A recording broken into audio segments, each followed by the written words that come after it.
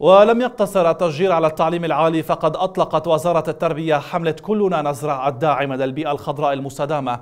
وفي سياق التوجيهات لاستدامة الأماكن الخضراء بادرت المديرية العامة لتربية في صلاح الدين بإطلاق حملة تشجير واسعة بمناسبة اليوم العالمي للتشجير في عموم مدارس قضاء تكريت والتي تهدف إلى تحويل الحدائق المدرسية إلى مساحات جاذبة في خطوة تركز بالدرجة الأساس على ترسيخ التعاون وحب المساعدة والحفاظ على البيئة المدرسية في نفوس التلاميذ والطلبة.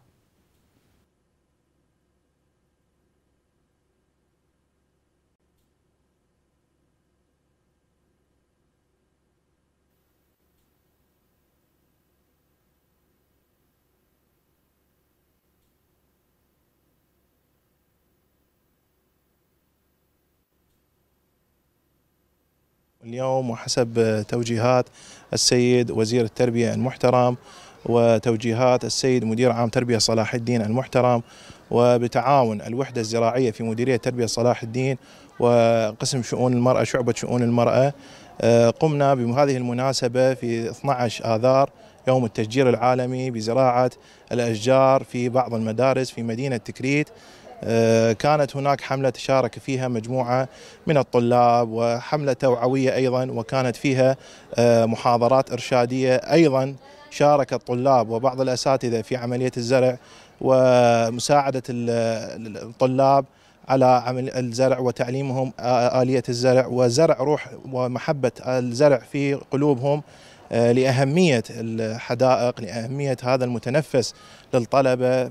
كل مدرسة بحاجة إلى آه، حديقة وإلى متنفس آه، يكون مشاط للطلاب وسعيهم لعبهم أيضا. أيضا محفز يكون لهم دراسي تزامنا ويا المبادرة اللي أطلقها سيادة رئيس الوزراء وتزامنا مع اليوم الوطني للتشجير. اليوم 12 آذار رغم طبعا اليوم هو كان أحد أيام ثاني أيام رمضان المبارك بس إصرارنا على مشاركة بهاي المبادرة قامت مديرية تربية صلاح الدين شعبة شؤون المرأة بتشجير عدة مدارس طبعا بالتعاون ويا الوحدة الزراعية اللي استحدثت جديدا في مديريتنا وأيضا بالتعاون ويا حملات الخير مشكورين جدا زودونا الأشجار أيضا وبعض من الشتلات وشاركونا الأطفال بالمدارس أيضا زرع نسويه شلون تقولون هاي المبادرات؟